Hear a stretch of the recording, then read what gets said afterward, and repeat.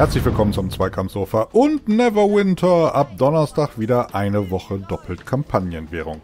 Diesmal für Ravenloft. Einfach in das Gebiet nach Barovia gehen, Quests abschließen und die doppelte Menge am Kampagnenwährung abgreifen. So könnt ihr euren Charakter oder irgendwelche Twinks viel schneller durch die Kampagne bringen oder einfach Währung ansammeln, um euch im Kampagnenladen tot zu shoppen. Parallel dazu, wer keinen Bock aufs Questen hat, der kann im PvP doppelt Ruhm erringen, wenn er anderen Spielern was auf die Mütze gibt.